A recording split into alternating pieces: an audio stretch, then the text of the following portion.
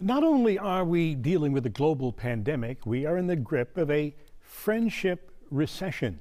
And the problem is particularly bad for men. Psychotherapist Mary Jo Rapini is live to help us get through this. Good morning, Mary Jo. Thank you for joining us. Good morning, and thank you. Okay, now, why is this a problem now, and why are men particularly hit hard?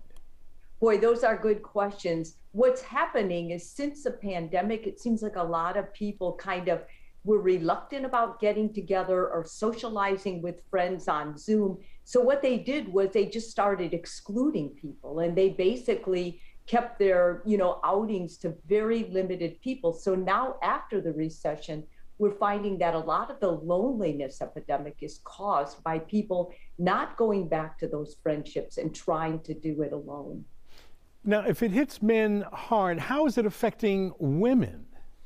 With women, it's not as hard because women naturally are socialized to network more, Jose.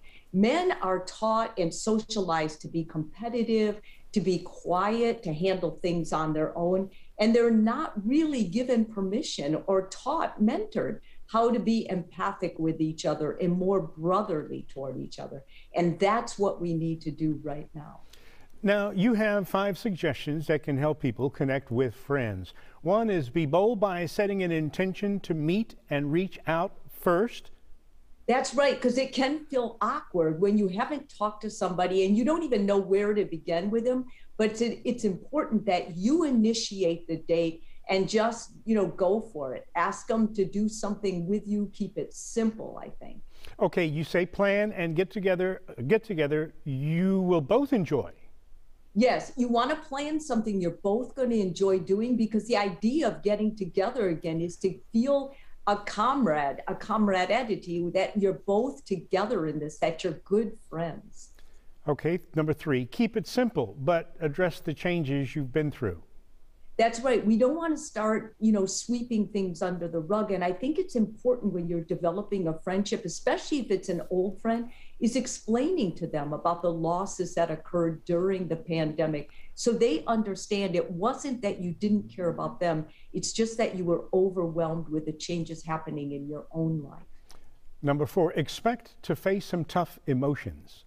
That's right. I mean, when you when you start getting together again, it's going to feel really good. You're going to feel bad, maybe some guilt or shame that you let this friendship go. And not only that, but when you get together again, you start seeing another side of yourself, and that's so important to restore that side.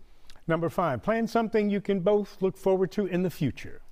That's right. You never want to leave the meetup just just getting together, you want to have something you both look forward to. Maybe make a date to go to a game or, you know, to get together for drinks or go to the gym together. Whatever it is you plan, it's important you do have something that keeps you kind of excited about seeing this person again in the present.